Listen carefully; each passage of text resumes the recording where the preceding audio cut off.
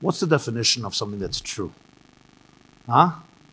So I looked, I looked at four different dictionaries, okay, talk about truth, and each one had a different definition.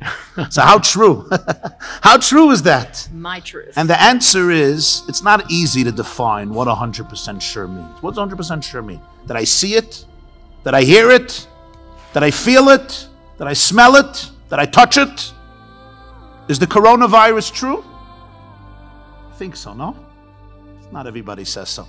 But uh, coronavirus is true, right? It had a little impact on the world, no? Did you ever see it? Are atoms true? Are neutrons real? Are electrons real? Are viruses real? Are germs real? Is bacteria real? Are particles real? Is the black hole real?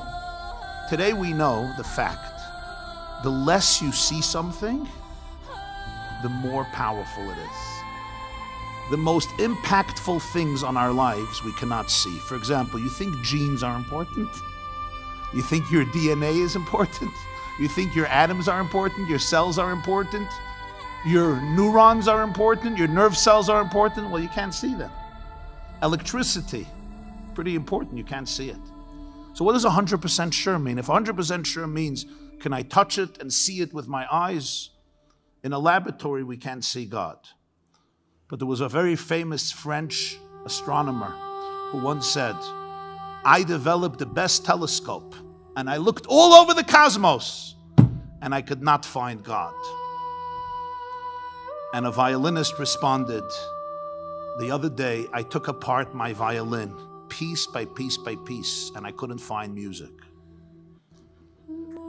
If 100% sure means that I could see it with my eyes, literally like I see the table, then not.